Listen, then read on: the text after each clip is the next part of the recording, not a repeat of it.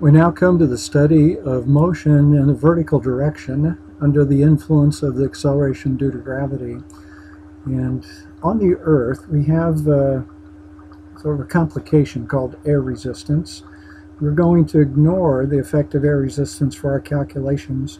Experimentally, we would have to go to a location where there is no air resistance. Well, the moon provides that. So, uh, 1971, an astronaut uh, and several astronauts have walked on the moon, but an astronaut did this experiment on the moon, so-called Galileo's experiment, uh, dropping a hammer and a feather. They took a feather to the moon, and the geology hammer was useful for gathering rocks. Uh, but on the Earth, the object that's more dense has uh, less uh, effect on its motion due to air resistance. So the hammer drops rapidly, the feather floats to the ground, and they don't hit at the same time. That's due to air resistance. Without air resistance, the two objects, if they're dropped at the same time and dropped from the same height, will hit at the same time. So when we do uh, these uh, vertical motion problems, very often we'll switch the variable x out and replace it with y. y for the vertical direction. That's not a requirement. It's not always done, but uh, you may see that. Y is the vertical variable in many uh, examples. Um, on the Earth, the acceleration due to gravity is minus 9.8 meters per second squared, taking up to be the positive direction. On the Moon, acceleration due to gravity is minus 1.67 meters per second squared. So let's uh, go ahead and do an example. Uh, take a look at an example here. Let's suppose we start at ground level moving upward at 13 meters per second and acceleration due to gravity of the Earth is present.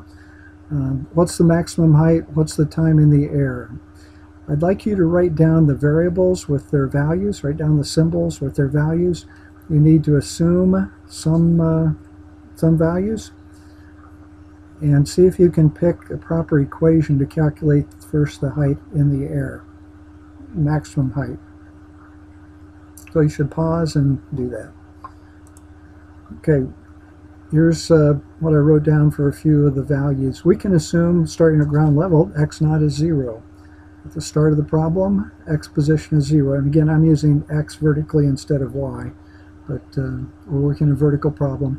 At the top of the motion, when the object doesn't go any higher, the velocity at that instant is 0. The final x we're looking for, the t we're looking for, we were given a of minus 9.8. I didn't write it up here. Uh, but if you look at equation 4, it does not have the time variable. It does have the x, but there's only one unknown here. The velocity at the top is 0. We had 13 for v naught. We have minus 9.8 for the a value. So we can calculate here the maximum height. I got 8.62 meters. You should uh, verify that for the time in the air, that's going up and coming down. The motion is symmetrical. So what we should do is calculate the time to the top of the motion, multiply that by 2, and we'll get time in the air. Um, so if I pick equation 1, again at the top of the motion, the velocity is 0. We start at 13 meters per second. Acceleration is minus 9.8. We can calculate the time to go up. I have 1.3265. We double that and we get uh, 2.65 seconds would be the time in the air for this motion.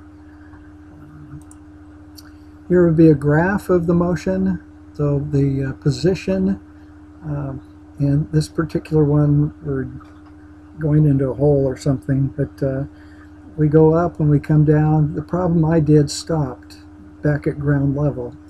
Um, in terms of the velocity, why is there a negative slope here? The velocity uh, starts off positive 13, goes to 0, and then becomes negative. It's a negative slope because the acceleration is negative.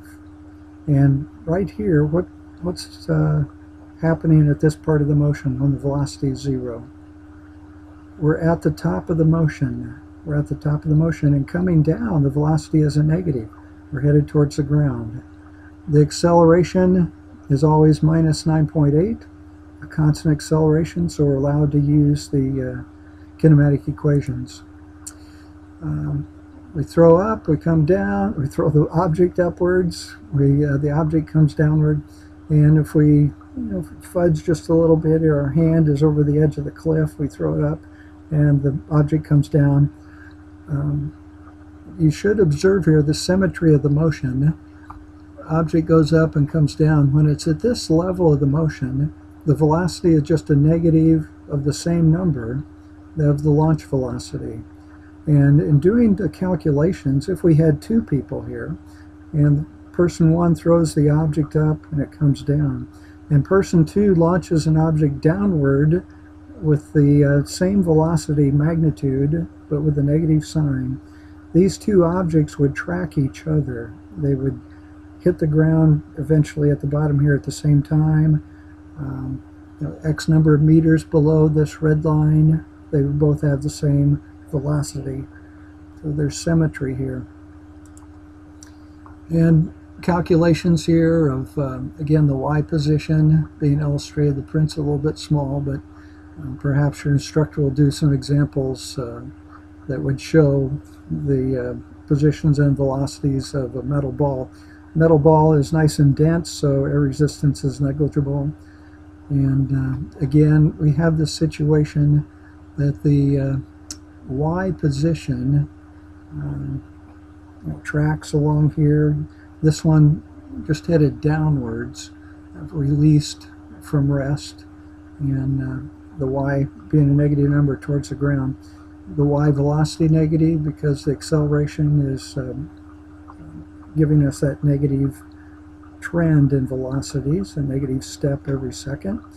Uh, starting from zero, acceleration gives us negative velocities after that. But we have here what's called free fall motion, motion uh, vertically downward and no air resistance. Uh, being allowed to influence our our thinking on this. Um, might make a comment about uh, section 8, the graphical analysis uh, in chapter 2 for my particular course. We're not going to focus on this much, but you should read this over and ask me if you have some questions. Um, just this section does try to help you use graphs to analyze motion. And important feature here is that the, uh, the slope of the position graph versus time gives us velocity. The slope on the velocity versus time graph yields acceleration. Um, we won't do the more advanced uh, work of the area under the curve gives us the displacement, um, but we will talk about the slopes on the position graph and on the velocity graph uh, yielding the next graph. So we're going to stop here. Um, look for an example problem.